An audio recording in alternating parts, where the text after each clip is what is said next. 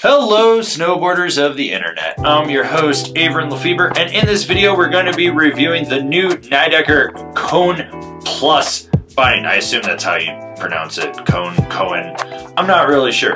Anyways, we're going to be talking about this three strap, two ratchet binding. I rode this binding at Copper Mountain on a sunny bluebird day, like almost perfect conditions, Nice firm corduroy, a little bit of ice in spots, hot pow off the runs if you knew where to look. And I rode it with my Telos Mike Rankwit snowboard and my K2 Thraxis boots. So when it comes to adjustability on this binding, you have the standard flip cam, so you got three of those to adjust just the length of that heel and toe strap. You also have push down pin placement for the toe strap. You have two placements there.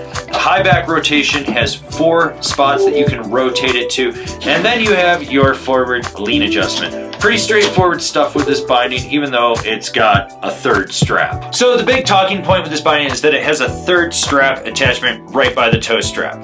So your toe strap, you can set it, do what it need to do, but that one that connects the toe strap to the heel strap actually changes the power dynamic of the heel strap.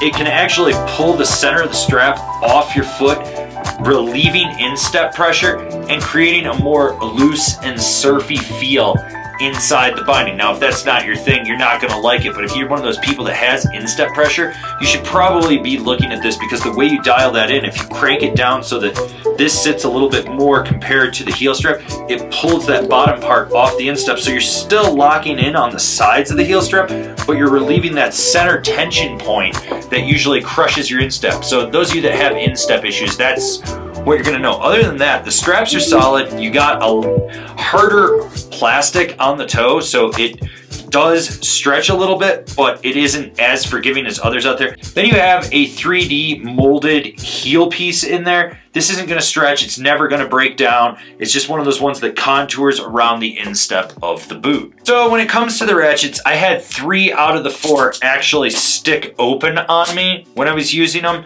With the front foot, that really wasn't an issue because after I dialed it in, locked it in, I didn't come out of it for about three hours, but the rear one, every now and then, it would stick. It would just stay open.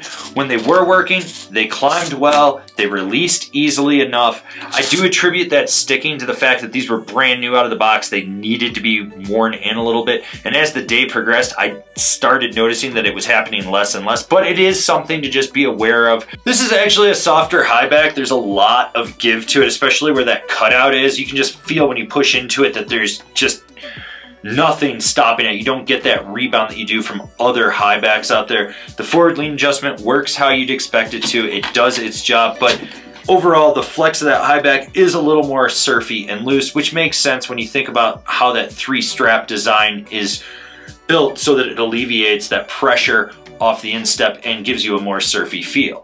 With the binding flex, we need to talk about how this is a little unique. This has a big footprint on it. It has a bigger disc, so it's a little more rigid and stiff underfoot.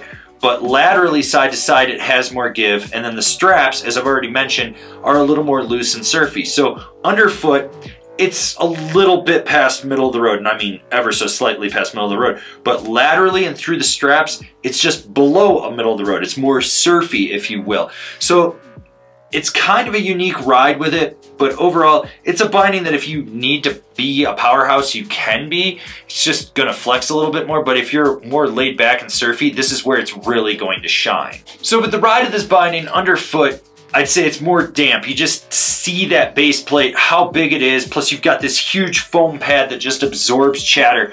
It really just lessens any vibration that you would feel.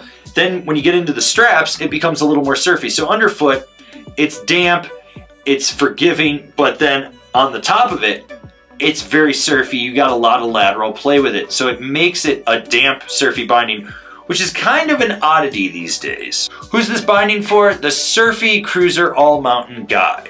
So here's the thing with the binding. If you have instep pressure, like I already mentioned, this is probably a great option for you. I don't, and I really like to feel my straps. So I ended up just having to crank this binding down to get it to perform how I wanted it to. Not exactly ideal, and definitely not for me. I would probably actually go with one of their other bindings over this.